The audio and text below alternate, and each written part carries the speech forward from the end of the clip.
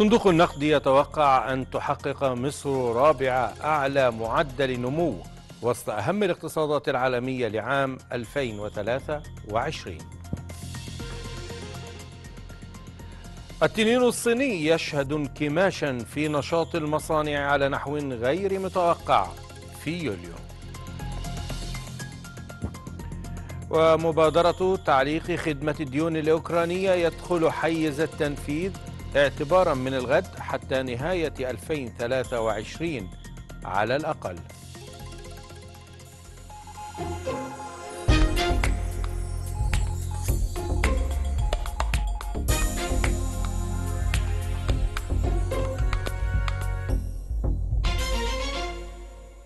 أخبار المال والأعمال أخبار الاقتصاد المحلية والعربية والعالمية. معكم في نشرة اقتصادية مفصلة من النيل أهلا بكم. نبدأ مع واحد من أهم أخبارنا حيث نشر المركز الإعلامي لمجلس الوزراء تقريرا تضمن رسما توضيحيا يسلط الضوء على توقعات صندوق النقد الدولي بتحقيق مصر رابع أعلى معدل نمو وسط أهم الاقتصادات العالمية لعام 2023 وذلك على الرغم من خفض توقعات نمو أغلب الاقتصادات العالمية.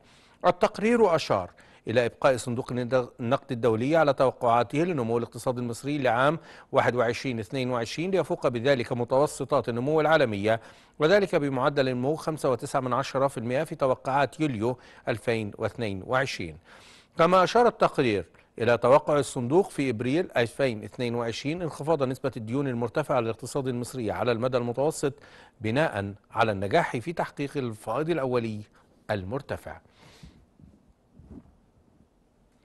بحثت وزيرة التعاون الدولي رانيا المشاط مع مساعد الأمين العام للميثاق العالمي للأمم المتحدة بحث فرص التعاون المشتركة بين الحكومة والميثاق. كما بحث الجانبان تعزيز استثمارات القطاع الخاص فضلا عن تدعيم التعاون بين بلدان الجنوب ودور الميثاق العالمي للأمم المتحدة في تعزيز إصدار السندات الزرقاء. الوزيرة أوضحت أن مصر وضعت رؤية طويلة الأجل لتنفيذ أهداف التنمية المستدامة 2030 مشيرة إلى أنه في إطار إطلاق الاستراتيجية الوطنية للتغيرات المناخية 2050 حددت مصر قائمة من مشروعات التخفيف والتكيف مع التغييرات المناخية.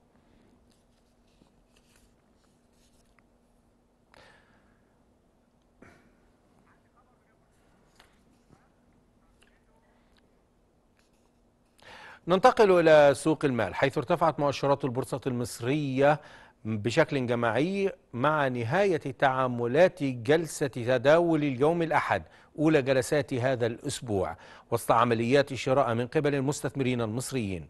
وسجل رأس المال السوقي لأسهم الشركات المقيدة بالبورصة مستوى 634.5 مليار جنيه بعد تداولات كلية بلغت بأكثر من المليار جنيه. المؤشر الرئيسي للبورصة EGX 30 صعد ب 1.39 من 100% من قيمته كما ارتفع مؤشر EGX 70 للأسهم الصغيرة والمتوسطة بنسبة 1.5% من قيمته. ومزيد من التوقعات والتحليل مع مؤشر النيل في السادسة والنصف بإذن الله تعالى. إلى الاقتصاد السعودي حيث أفادت تقديرات حكومية أولية بأن الناتج المحلي الإجمالي للسعودية ارتفع ب 11.8% في الربع الثاني مقارنة مع الفترة ذاتها من عام 2021 مع استفادة أكبر دولة مصدرة للنفط في العالم من ارتفاع أسعار الطاقة. وقالت الهيئة العامة للإحصاء إن النمو كان مدفوعا إلى حد بعيد بزيادة 23.1% في الأنشطة النفطية بينما نمت الأنشطة غير النفطية بنسبة 5.4%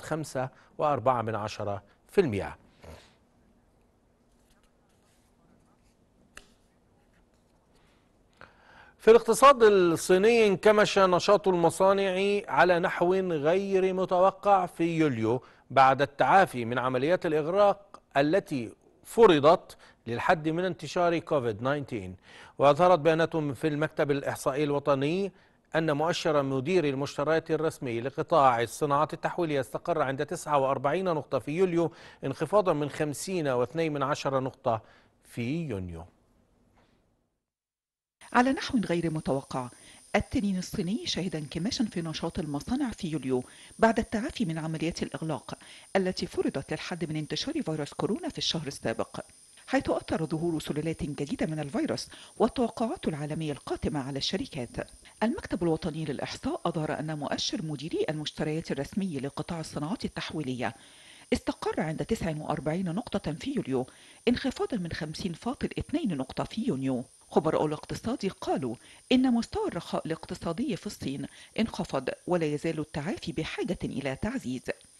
الخبراء أضافوا أن الانكماش المستمر في الصناعات التي تستهلك الطاقة بكثافة مثل البنزين وفحم الكوك والمعادن ساهم إلى حد بعيد في انخفاض مؤشر مديري مشتريات الصناعات التحويلية في يوليو. وانخفض المؤشر الفرعي للإنتاج ثلاث نقاط والمؤشر الخاص بالطلبات الجديدة نحو نقطتين في يوليو. بينما انخفض المؤشر الفرعي للعمالة فاصل واحد نقطة. وبالكاد نما الاقتصاد الصيني في الربع الثاني وسط عمليات إغلاق واسعة النطاق لكن كبار القادة أشاروا مؤخرا إلى أن السياسة الصارمة الرامية إلى عدم ظهور أي حالات إصابة بفيروس كورونا ستظل تمثل أولوية قصوى.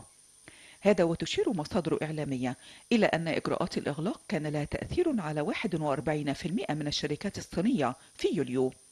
على الرغم من أن مؤشرها للثقة في قطاع التصنيع ارتفع بشكل كبير من 50.2 في يونيو إلى 51.7 في يوليو. تدخل غدا مبادرة تعليق خدمة الديون الأوكرانية حيز التنفيذ وذلك حتى نهاية 2023 على الأقل مع إمكانية إضافة عام جديد. اعتبارا من الغد الأول من أغسطس تدخل مبادرة تعليق خدمة الديون الأوكرانية حيز التنفيذ وذلك حتى نهاية 2023 على الأقل مع إمكانية زيادة عام إضافي. وافقت مجموعة من الدائنين الغربيين بينهم فرنسا والولايات المتحدة وألمانيا واليابان وبريطانيا في العشرين من يوليو على تأجيل دفعات الفائدة على الديون الأوكرانية. من هنا جاء تخفيض وكالة التصنيف الائتماني ستاندرد بورز بشكل كبير درجة الدين السيادي لأوكرانيا من triple C plus إلى double C الوكالة العالمية اعتبرت أن موافقة عدد من الدول الغربية على تأجيل دفعات الدين يعادل تخلفا شبه مؤكد لهذا الدين. وأرفق تصنيف الوكالة بآفاق سلبية. تعكس رأيها الذي يفيد بأن أوكرانيا يمكن أن تطبق خططها لإعادة هيكلة الدين مما سيعتبر تخلفا عن السداد وأشارت الوكالة الدولية إلى أن المخاطر الكبيرة على مدفوعات خدمة الديون التجارية الأوكرانية هي بسبب خطط الحكومة لإعادة هيكلة الديون والتي تنبع من الضغوط المتعلقة بالاقتصاد وميزان المدفوعات وميزانية المواجهات مع روسيا. انهار الاقتصاد الأوكراني منذ بداية العملية العسكرية الروسية في أوكرانيا حيث يشهد إجمالي الناتج المحلي انخفاضا نسبته 45% هذا العام حسب تقديرات يونيو للبنك الدولي. وكانت وكالة ستاندرد بورز قد خفضت تصنيف أوكرانيا في السابع والعشرين من مايو مع أفاق سلبية بسبب تداعيات العملية العسكرية الروسية في الأراضي الأوكرانية. بهذا التقرير ننهي هذه النشرة إليكم العناوين. صندوق النقد يتوقع أن تحقق مصر رابع أعلى معدل نمو وسط أهم الاقتصادات العالمية لعام 2023 التنين الصيني يشهد انكماشا في نشاط المصانع على نحو غير متوقع في يوليو.